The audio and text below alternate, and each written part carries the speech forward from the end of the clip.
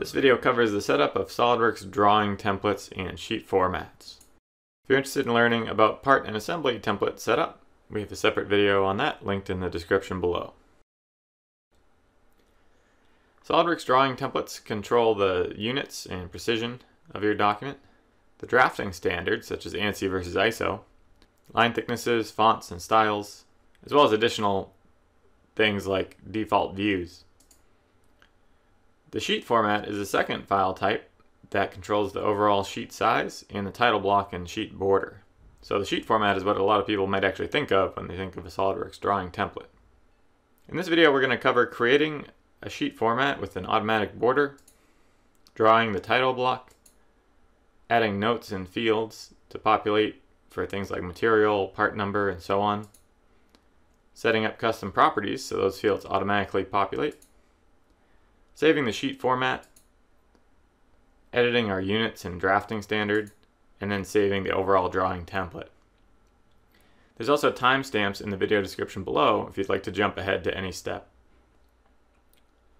Before we even get started, I just wanted to give a quick preview of the functionality that we're after, which is that if I choose to create a new drawing, I'll have a template here that automatically populates with my sheet border. And when I go to place in my model, you'll see properties like part number, description, and material automatically populating below. And I also have the desired settings that I'm interested in for the way that my dimensions and annotations will look. So to get started here, we're going to do a file new inside SOLIDWORKS and choose our default drawing template. So when I click OK to create this drawing template, I'm prompted to also choose a sheet format. And you can see here the sheet format would control the size of the sheet and what's displayed on it. But I want to show you how to create a sheet format from scratch. So we're going to not use one here. We're going to uncheck display sheet format.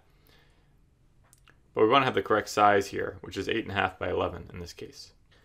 So we'll click OK, and we end up creating a drawing that has no real sheet to it yet, no real title block. So we'll just X out of the model view prompt that's created there. And the first thing I want to do is edit my sheet format.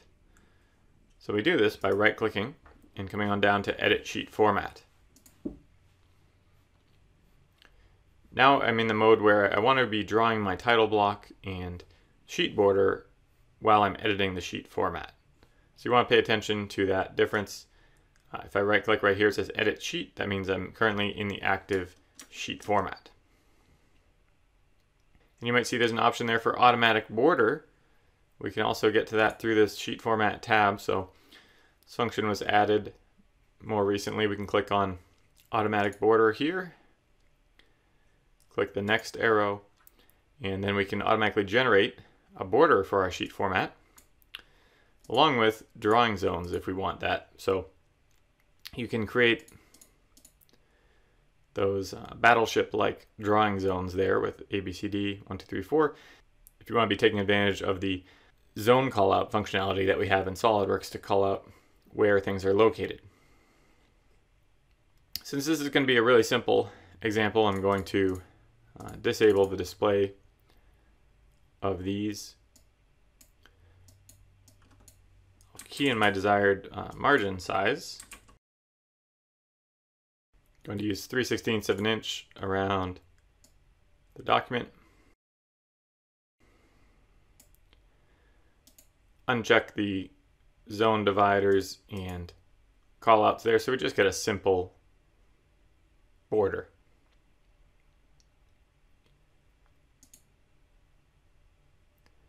And we'll click the check mark to accept that simple border. Now before we proceed much farther, very important to note that although this sheet border looks like it's fully defined, we it's actually not. We can click and drag the corners of it. So in order to lock this thing into position, what I would recommend is that we select each vertex, so each sketch point uh, or vertex at the corners here, select them all and then fix them. So by clicking that fix button, we should make it so that these are no longer able to be dragged and they're essentially locked in position there.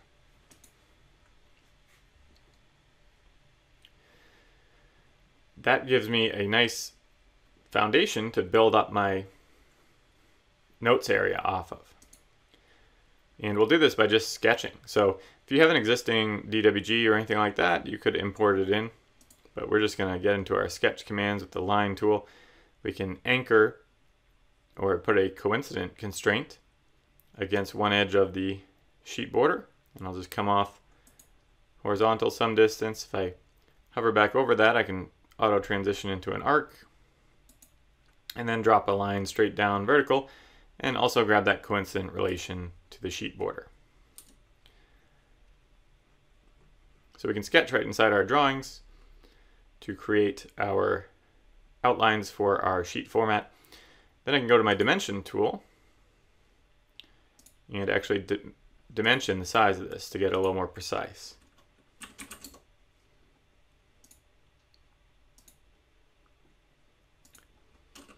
Now we don't want these dimensions showing, so we'll end up hiding them once they're created. I'm going to proceed along here and just continue to divide up this area until I have it looking roughly like what I want. Just like any sketch, we can add relations here to make sure these things are nice and precise. Once I have everything set up the way I want, I'm going to get out of the Smart Dimension tool select all my dimensions, and then right click and hide them so they don't appear on the display. But I still have a essentially a parametric title block area here. Now this area is looking a little thin in terms of the line weights that I want to be using. So I'm going to show you two tools that I find useful. And they're accessible as toolbars. So we're going to go to View Toolbars and then enable Line Format. And I'll also show View Toolbars and Layer. And I'm just going to dock these on the bottom of my screen. You could customize your command manager or other shortcut bars with these commands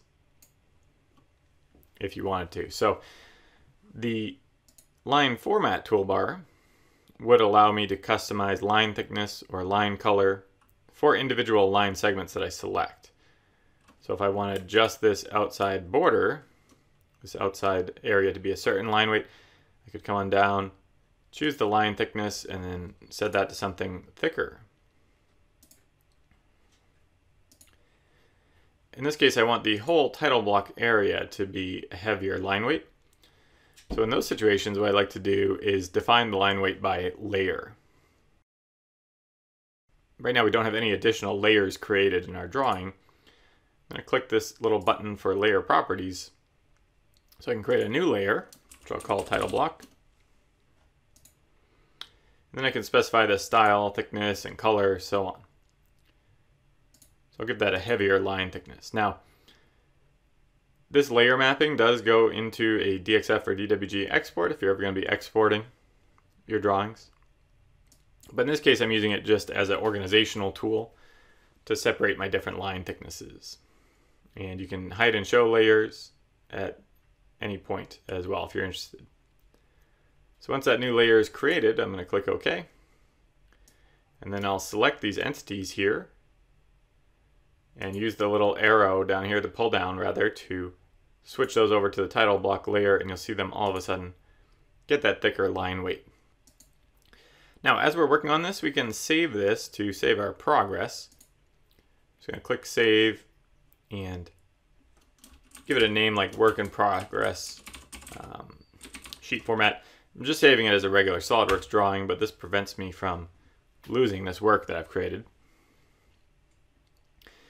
And now we want to start getting in some of the text that'll be down here. So I'll do that under the annotation tab. And we primarily use this note function to add text. If I choose note, I can place this down here, add my company information. And you'll see we have this formatting toolbar so we can adjust any of the parameters about this that we want, font size and color, and so on. Just hit escape once you've placed your note. And we can put that there. So you'll see me here just adding some additional notes. and taking advantage of the formatting options that are available. Now when it comes to things we want to automatically populate, I'm just going to write kind of the title field I want for these right now. This includes things like part number, description, material. These are things that I want to be populating based off the model that's inserted onto the drawing. I also want to have callouts for sheet scale and sheet number. There's also alignment tools we can take advantage of, so rather than me trying to manually align all these things together, I can box select notes, right click, and align. In this case, I'll align them right. I can also right click, align, and space them evenly down. So we've got all our static fields defined now. Let's just take a moment to recap. So far we've created an automatic border on our desired sheet size. We've drawn out our title block and added those notes and static fields to our document. Since this video is getting a little long, we'll cover setting up the custom properties to automatically populate, saving out the sheet format, editing units and drafting standard, and finally saving our drawing template in part 2, which is linked in the description below.